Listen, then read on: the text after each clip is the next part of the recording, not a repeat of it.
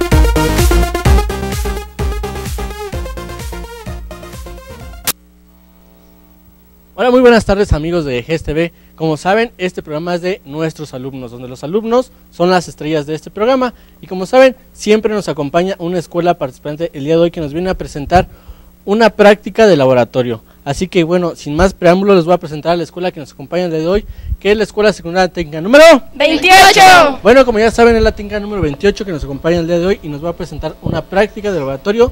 Así que bueno, les dejo los micrófonos para que ellos presenten esta práctica el día de hoy. Así que bueno, dejo micrófonos y cámaras y adelante. Buenas tardes a todo televidente y a todo personal de la Escuela Secundaria Técnica número 28. Nosotros somos del turno vespertino. Mis compañeras y compañeros se van a presentar. Mi nombre es Yuritsi Fernanda Ballina Triujeque y tengo 12 años. Mi nombre es Natalia Castillo Velázquez y tengo 12 años. Mi nombre es Sonia Reyes Martínez y tengo 12 años. Mi nombre es Arati Isaí Ramírez Velasco y tengo 13 años. Yo soy el profesor de Ciencias de Biología y mi nombre es Constantino Vázquez García. Trabajo en la Escuela Secundaria Técnica número 28 en el turno vespertino, ubicada en Xochimilco. Nosotros les veni Nosotros les venimos a les venimos a hablar les venimos a hablar de qué de nuestro proyecto eh, de trabajo y social bloque 5 del quinto bloque que se llama qué causas la qué causa la descomposición de los alimentos y qué podemos hacer para evitar o retrasar este proceso.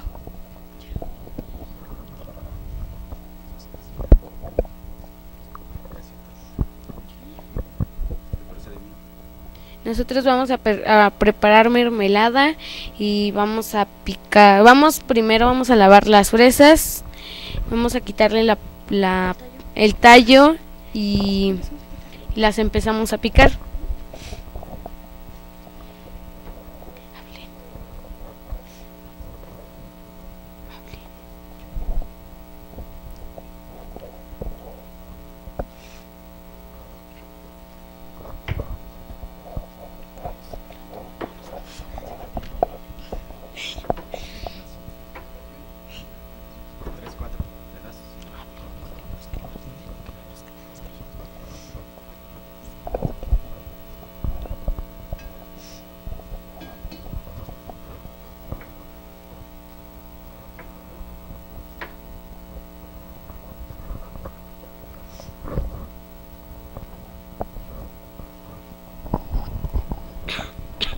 Estos trabajos en proyecto nos ayudan a que los alumnos tengan, pues apliquen lo que han aprendido durante todo el ciclo escolar, en donde van a ellos a demostrar sus, habilidades, van a demostrar su actitud, el trabajo colaborativo en equipo, en la cual ahorita ellos se están preparando, ya las fresas estaban desinfectadas, en el momento pues ya nada más estamos picando por el, tiempo, pero mis compañeros antes pasaron por un proceso de preparar, más que nada desinfectar para evitar pues que alguna bacteria, un hongo eh, vaya a estar ahí dentro y eche a perder nuestros, nuestra mermelada.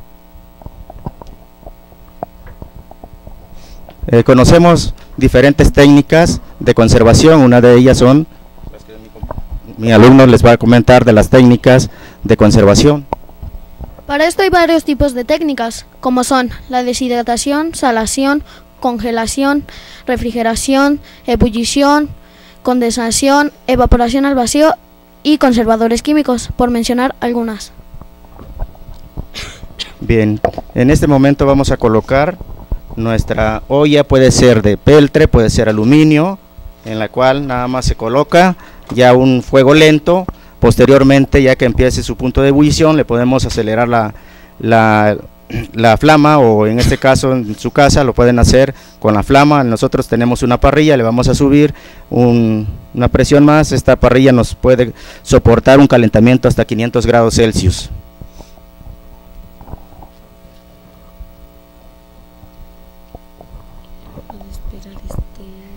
La, prepara- la preparación de mermelada es práctica, económica y, y es natural.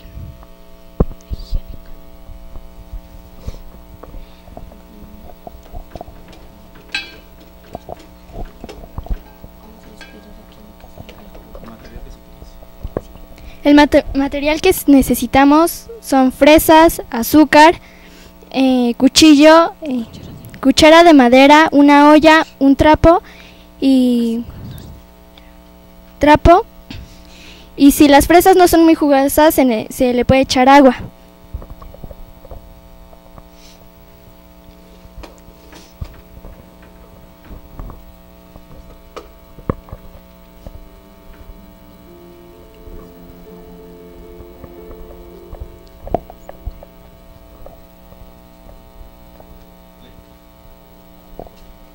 Bueno, pues aquí vimos un peque- vimos un proceso eh, de elaboración de mermelada un poco rápido por el tiempo, como nos lo comentaban. Pero a ver, chicos, cuéntenme, eh, ¿cuáles eh, son las causas de la descomposición? A ver, creo que no me escuchan. ¿Ahí ¿Me escuchan? Listo. Eh, ¿Cuáles son las causas eh, de descomposición de, de las fresas? Bueno, todos los, ¿Sí, sí, se escucha? todos los alimentos son perecedores, por lo cual la ciencia y la tecnología han buscado técnicas de conservación de los alimentos. Y son los que mi compañero eh, comentó. Principalmente se hicieron estas técnicas para retrasar el procedimiento de, de- de- de descomposición de los alimentos, para que la población no carezca de alimentos y así poder llegar a lugares más lejanos, en buenas condiciones. Ok, ¿y bueno, cómo lo podemos evitar o retrasar este proceso? Una de las técnicas que, bueno, que se puede usar para retrasar eh, eh, este proceso, ¿cómo le podemos hacer? Podemos guardarlo en frascos con tapa y meterlos al refri para que se conserven mejor. Ok. Eh, en este caso, eh, influye mucho lo que es el picado de las fresas. eh, pu- puede ser eh, más pequeños o no importa. No importa. No, no importa porque, bueno, en este caso, eh, me refiero para, en el modo de que tarda, tiene un proceso eh, en el que, bueno, que se calienta, es más eh, rápido con los pedazos más cortos, bueno, bueno, más chicos o más grandes, por eso la pregunta. Es igual, se van deshaciendo cada uno al... Y va- sa- va saliendo el jugo, sea chico, sea grande. ¿Cuánto tiempo más o menos se lleva eh, haciéndolo eh, ya este proceso eh, en casa? 20, 25 minutos. 20 o 25 minutos. Ustedes, eh, eh, bueno, ¿qué, qué, qué les dicen a todas las personas que nos están viendo? eh, en este caso, para la elaboración de la mermelada, eh, ¿qué recomendaciones le darían? Bueno, que las personas que sufren de las enfermedades de obesidad y diabetes no lo consuman mm, o que lo puedan consumir, pero en cantidades muy pequeñas, porque la mermelada necesita mucho azúcar. Ok. Bueno, aquí, bueno, el, eh, nuestro compañero este, le va a poner lo que es la azúcar. Ok.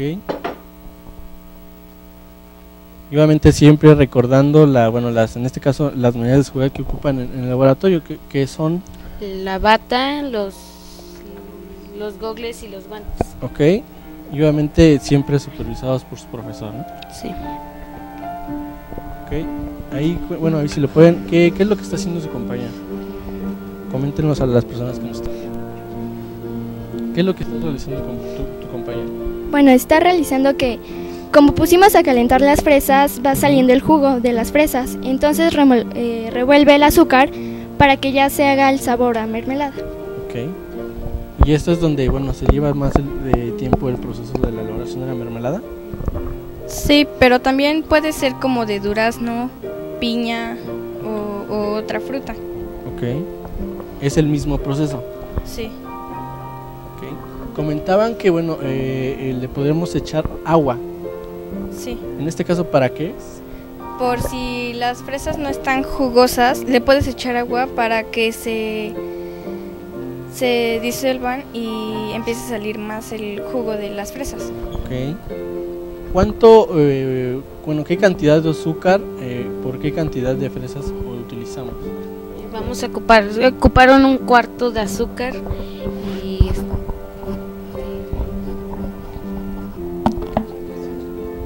Ok. Y 400 400 gramos de fresa. Ok, bueno, y, en- bueno, y este proceso ya, bueno, eh, bueno ahí eh, lo hicimos un poquito rápido, pero bueno, eh, cuéntenos, ¿qué experiencia tienen ustedes, bueno, de, bueno, de realizar estas prácticas, eh, de realizar una mermelada ahí en el laboratorio?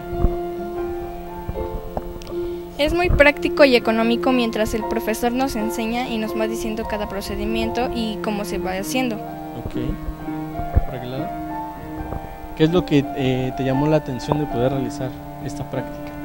La forma económica de no gastar tanto dinero en una mermelada simple y con tanta azúcar.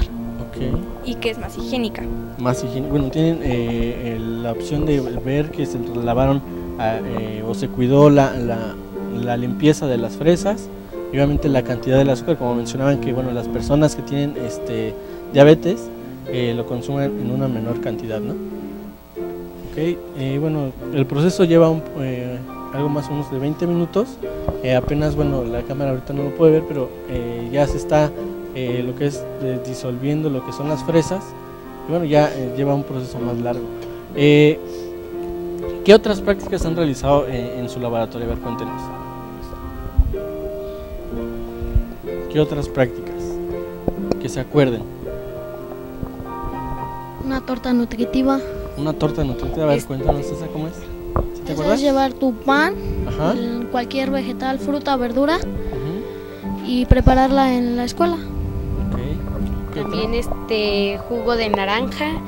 Eso debemos de llevar el si queremos jugo natural, debemos de llevar naranja. Debemos de llevar naranja mm, o sea, ya el jugo de la naranja y debemos de llevar miel. Y ya ahí vamos este a agregar la miel al jugo. ¿Otra? ¿Alguna otra que se acuerden? ¿De qué grado son? Primero, Bueno, apenas van entrando, apenas van realizando sus primeras prácticas. Eh, chicos, a ver, cuéntenme, en- ustedes en la primera pues no tenían este tipo de clases. Ahora que, bueno, experimentan este tipo de clases, ¿qué les parece? ¿Les gusta, no les gusta? A ver, cuéntenme un poco. Aquí está su profesor, pero pues, su pues sí, es, es divertido mientras el maestro nos está enseñando porque aprendemos más cosas en nuestro laboratorio. Ok. Bueno, eh, ya, bueno, ya casi está por terminar el programa, pero bueno, este proceso eh, eh, lleva un poquito más largo, pero no sé si eh, lo traigan en, ya en su presentación final, ¿no, no lo traen? ¿No cómo quedó el proceso eh, final? No. Ok, bueno, eh, ya posteriormente, eh, bueno, este, les mostraremos cómo quedó eh, la mermelada, pero chicos, antes de despedirnos, cuéntenme, eh, quisieran mandar algún saludo eh, a algún maestro, algún compañero de su escuela, así que, eh, bueno, por favor, tienen los micrófonos y hacia las cámaras. ¿Por aquel lado? ¿Quién quiere empezar? Bueno, yo quiero mandar un saludo a todos los primeros que gracias también por su compañerismo que nos han apoyado también en esto. Ok. A los profesores que nos han apoyado mientras hemos estado trabajando y nos han ayudado en lo que no entendemos. Y a la directora que nos ha dado su apoyo y nos ha nos ha visto nos nos ha cuidado. Ok. ¿Por allá? ¿No? ¿Ningún saludo? bueno, profesor. Bueno, ahorita, ahorita sí, regresamos de este lado. Bueno, le queremos mandar saludo aquí con todos mis alumnos, los que estamos aquí, a, la, pues, a toda la Escuela Secundaria Técnica 28, a la directora, a las subdirectoras que pues nos ayudan aquí a que sea esto posible, que se lleve a cabo todas estas prácticas, estos conocimientos que se llevan en la teoría, se llevan a la práctica, para que los niños pues con diferentes tipos de aprendizajes o estilos de aprendizajes aquí lo lleguen a aterrizar, pues los que son kinestésico, auditivo y también pues esto ya es más manual de que ellos empiecen a ver y les llama la atención a ellos. Entonces todo esto es pues complementario para lo que se lleva a cabo y que también más que nada que los alumnos lo pongan en práctica en su entorno, en su comunidad, que no queden nada más en las cuatro paredes estos conocimientos, sino que lo apliquen en su entorno y no, no muy lejos, sino que pues, a donde viven ellos. De eso se trata ahorita prácticamente los planes y programas de estudios del 2011. Ok, bueno, y regresamos por este lado que querías mandar un saludo más, a ver. A nuestros papás que nos han apoyado en todo. Claro, y bueno, hay algunos papás aquí atrás de cámaras que igual nos están acompañando a sus hijos. Y bueno, yo también quisiera mandar un saludo a toda la escuela eh, y gracias por todas las facilidades que les dieron a estos chicos para poder venir y estar es- presentar este proyecto que realizan en la escuela y también al licenciado Manuel Salgado Cuevas, que es el director general de Escuela Secundaria Técnica aquí en la Ciudad de México, por todas las facilidades que nos da para realizar todos los programas tanto en radio como en televisión. Así que bueno, este fue el programa de nuestros alumnos y estuvimos con la Escuela Secundaria Técnica número. 28. Hasta la próxima.